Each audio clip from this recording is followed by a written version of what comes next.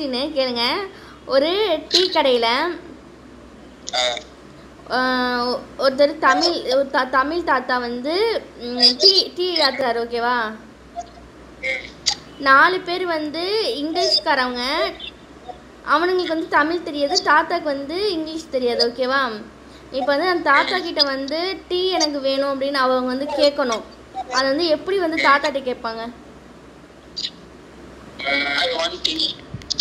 ஆஹா தாத்தாக்கு இங்கிலீஷ் தெரியாதே.